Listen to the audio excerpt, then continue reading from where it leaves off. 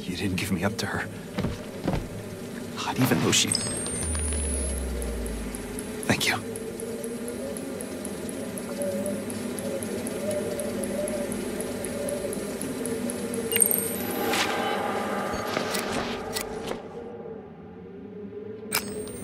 That woman, or whatever she is, beat him to death.